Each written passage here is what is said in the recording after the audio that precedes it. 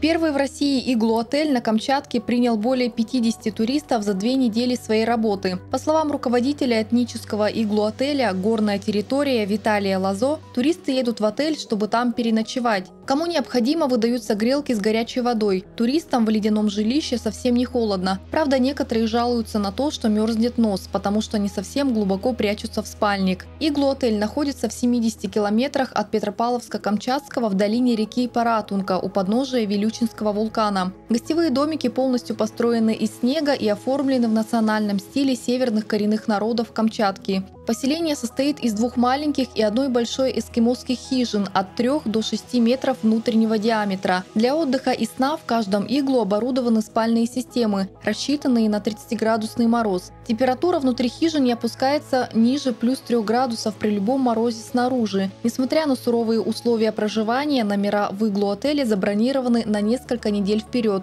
Снежная гостиница будет работать до середины мая.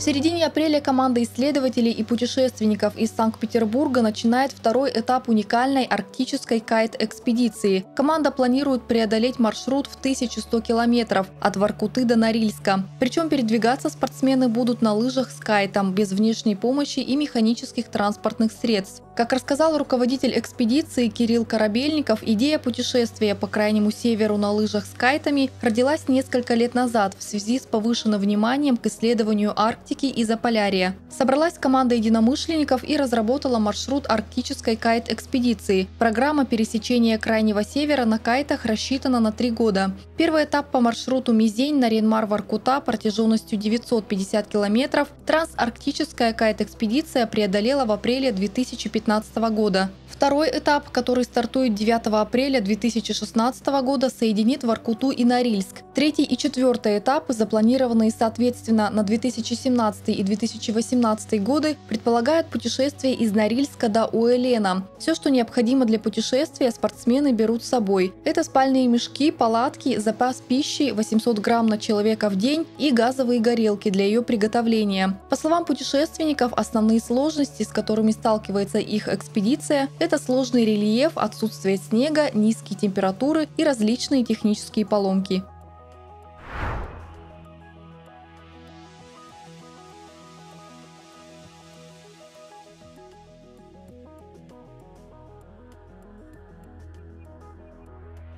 Федеральное агентство Ростуризм рассчитывает сделать Мурманск центром арктического туризма. Об этом рассказал заместитель главы ведомства Сергей Коренеев. Уже определены несколько направлений арктического туризма. Первое – это круизы, которые можно развивать по завершении реконструкции Мурманского морского порта. По его словам, одной из главных достопримечательностей российской Арктики стали острова и архипелаги Северного Ледовитого океана. Туры на острова эксклюзивные и дорогостоящие, но несмотря на это, количество путешествий путешественников за прошедшие 20 лет выросла почти в 10 раз. Самые популярные среди туристов направления – дрейфующий лагерь Борнео и российский поселок Баренцбург на Шпицбергене. По словам Корнеева, арктический туризм пока больше рассчитан на иностранцев, но есть и весьма привлекательный продукт для жителей Москвы и Санкт-Петербурга. После совещания представителей туриндустрии, которое прошло в Наринмаре в 2015 году, был разработан тур «Чумовые выходные в Арктике». Он стал особенно популярным в дни дни новогодних праздников. Как отметил Сергей Корнеев, туризм в Арктике не требует такой инфраструктуры, которая должна быть на курортах. Главное, чтобы четко работал сервис. Существующая инфраструктура во многом постсоветская, но если будет устойчивый спрос на продукт, будут и другие предложения. Желающие инвестировать туда есть.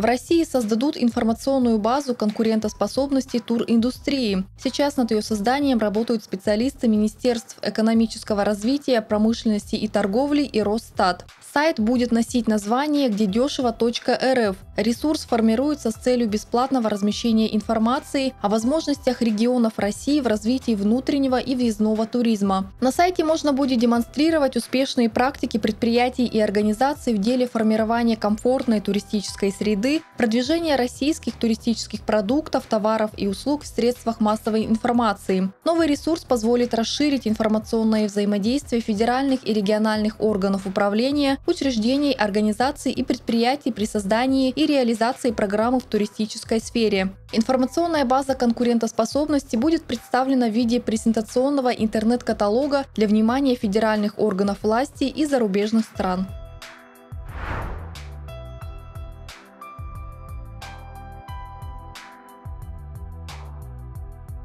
В Москве состоится фестиваль, посвященный регионам России, в которых можно наблюдать северное сияние. Культурно-просветительский фестиваль «Россия и ее сиятельство» организует специализированный библиотечный фонд «Библиотека путешествий» при поддержке издательского дома «Вокруг света» и Русского географического общества. Фестиваль организован в формате Tasty the World. Участники смогут испытать максимальное погружение и прикоснуться к природе, культуре и наследию региона. Программе фестиваля познавательно-развлекательная программа для детей и взрослых, мастер-классы, выставки фото и живописных работ, мультимедийные презентации и инсталляции, ярмарка еды и продуктов местных промыслов, лекции от известных путешественников и компаний. Первым регионом, который представит на выставке, будет Кольский полуостров.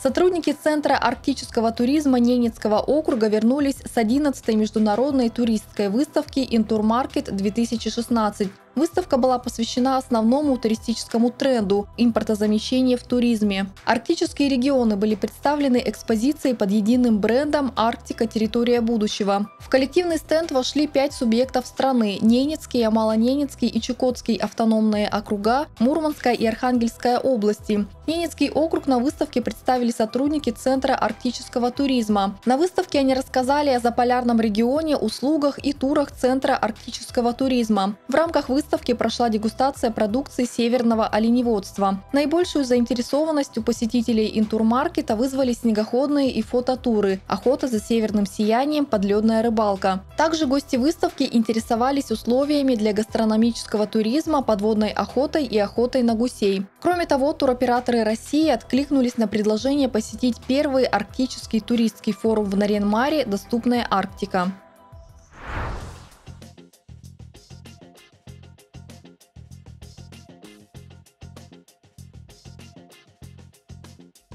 Наринмар посетила группа путешественников проекта «Дикари». Команда преодолела путь от Самары до Варандея, где установила флаг в честь 50-летия АвтоВАЗа. На машинах этой российской компании проходят все путешествия «Дикарей». В Ненецкий округ они приехали на двух внедорожниках «Лада 4 на 4 и кроссовере «Лада X-Ray». Специально для жителей округа был устроен тест-драйв в центре города на площади Марацей. Помимо тестирования отечественного автомобиля, «Дикари» планируют развивать арктический туризм. Этому была посвящена встреча с руководителем Департамента образования, культуры и спорта Ненецкого округа Галиной Медведевой и местными предпринимателями. По мнению Петра Груздева, опытного туроператора, зимние арктические туры в НАО будут популярны. Сегодня увидеть настоящую зиму со снегом и северным сиянием можно только на севере. Ненецкий округ, расположенный в европейской части России, идеальный вариант и относительно недорогой. Стоимость недельного комбинированного тура по Ненецкому округу оценивается от 50 50 до 100 тысяч рублей. Желающие есть уже сегодня. Это туристы из Мексики, Израиля и США. Первые туристические маршруты администрация округа и команда «Дикари» планируют запустить в начале 2017 года.